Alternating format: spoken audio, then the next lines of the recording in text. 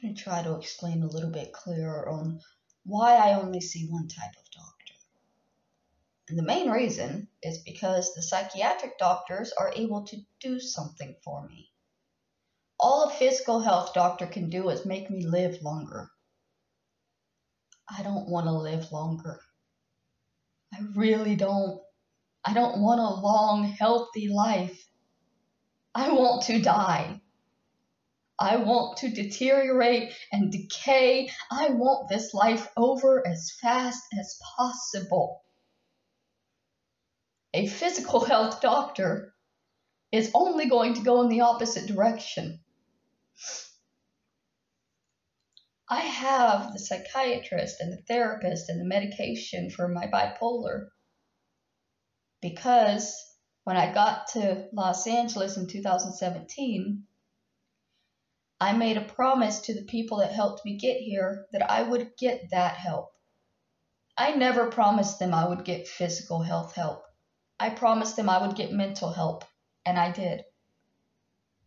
When I got here and I signed up for the program, they signed that was where that's where the housing came from. I had to be in the program, on the medication, homeless completely for years.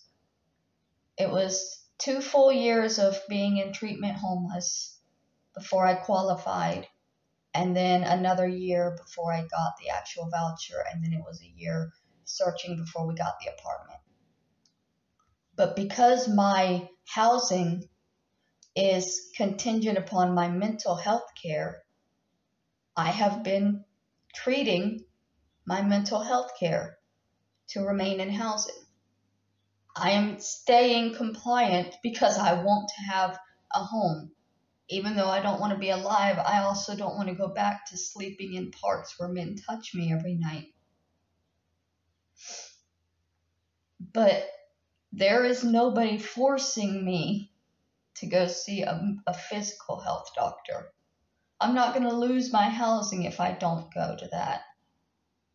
If I get cancer and I decide not to treat it, there's nothing they can take away from me to make me treat it. Whereas if I stopped treating my mental health concerns, they could take my home away.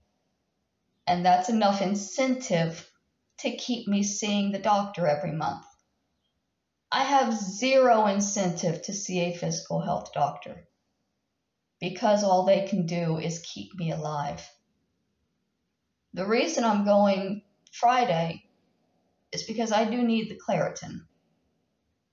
But if it if my sinuses weren't a problem, I would not be seeing a physical health doctor unless I was dying and going to the emergency room.